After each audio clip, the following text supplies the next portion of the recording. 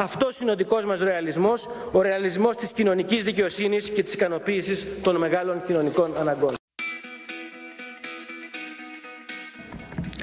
Εφαλτήριο για μια νέα αναπτυξιακή και παραγωγική προσπάθεια στη χώρα μας δεν μπορεί παρά να είναι η διαμόρφωση μιας νέας ενεργειακής πολιτικής. Στρατηγικός μας στόχος είναι η διαμόρφωση ενός οικονομικά και περιβαλλοντικά βιώσιμου μακροπρόθεσμου ενεργειακού πλάνου και υιοθέτηση μιας νέας δομής και ενός νέου μοντέλου λειτουργίας της ενεργειακής αγοράς που θα έχει ως προτεραιότητα τα νοικοκυριά, τη στήριξη των μικρών και μεγάλων επιχειρήσεων μέσω εξασφάλισης ανταγωνιστικού κόστους ενέργειας και την προώθηση ενεργειακών επενδύσεων.